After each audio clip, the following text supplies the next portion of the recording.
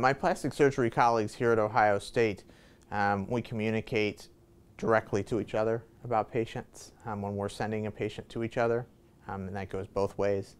Sometimes a patient will come to uh, our plastic surgery department seeking the surgery, and they may not have tried, you know, even basic conservative management for migraines and have never seen a neurologist before. That's where I come in. Um, had that happen earlier today. Uh, another case is the opposite problem where I identify a patient who's very re refractory, has refractory migraine and is looking for all the different options on the table and I send them to our plastic surgery colleagues here at Ohio State. So we communicate with each other directly when we want to send a patient to each other and if we have any questions about that patient we just communicate directly.